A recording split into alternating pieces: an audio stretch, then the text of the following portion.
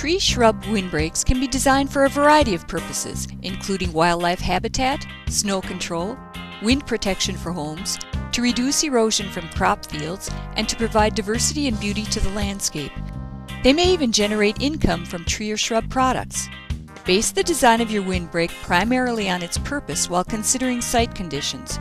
In this program, we'll cover four aspects of windbreak design to think about while planning a windbreak.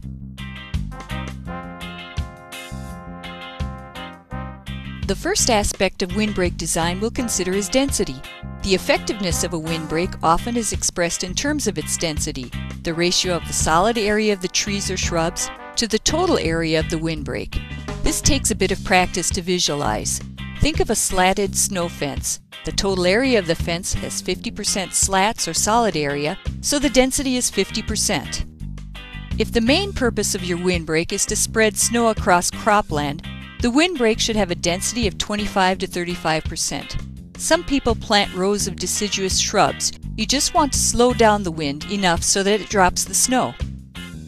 If the main purpose of the windbreak is to protect an area from snow, the windbreak should have a density of 70 to 80%. You can use multiple rows of dense conifer trees or closely spaced shrubs. Some dense conifers are eastern red cedar and Rocky Mountain juniper. Most farmstead or livestock windbreaks should aim for a density of 40 to 60%. You can reach this density by planting multiple rows of conifer and broadleaf trees. A second aspect to consider for windbreak design is location.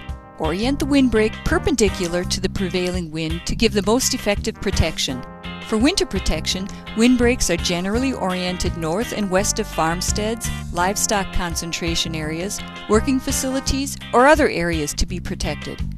Here's one example of a windbreak design called a single leg windbreak.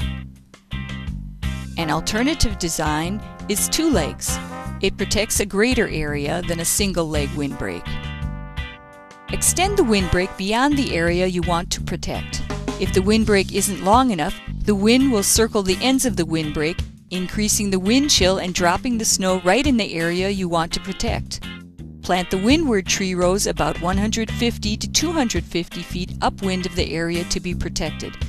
This will give space for snow deposition upwind of the area rather than having it dump on the area you want to protect.